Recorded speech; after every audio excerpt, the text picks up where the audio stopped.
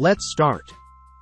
Today we will see how to implement the multi-timeframe bull bear power indicator in the TradingView Pine script. Let's see the code. This is an indicator function with the name multi-timeframe bull bear power. First, we take the user input for the higher time frame. The default value is set to the weekly time frame. Then, we take the user input for the length of the indicator. Here we calculate the bull power. For this, we subtract the 13 EMA from the high value of a candle. Here we calculate the bear power. For this, we subtract the 13 EMA from the low value of a candle. Then we add the two values to calculate the bull bear power. Here we calculate the higher time frame bull bear power. For this, we use the security function.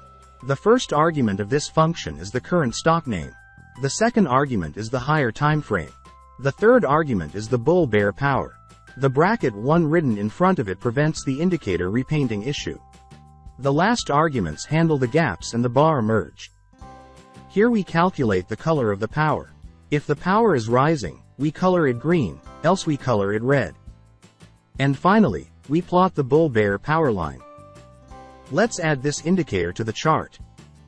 As you can see, the green line of the indicator denotes the bull power whereas the red line denotes the bear power. Currently, we are on the daily chart, and we are seeing the weekly bull bear power. If a user wants, he can change the time frame from the input panel. So that's it. That's how you can implement the multi-time frame bull bear power in the TradingView Pine script. Thank you.